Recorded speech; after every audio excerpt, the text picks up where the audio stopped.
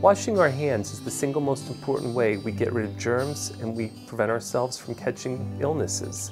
It's also important because it helps keep our family and loved ones safe as well. And it's something we take very serious here at Nationwide Children's.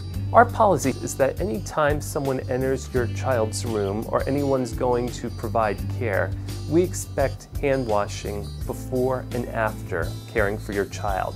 That can be with soap and water or it can be with an alcohol gel. Either one is very effective and considered to be standard of care, which means we're doing our best to protect you and your loved ones. Best way to wash the hands is to put your hands under the water, get them wet, take some soap and rub your hands together.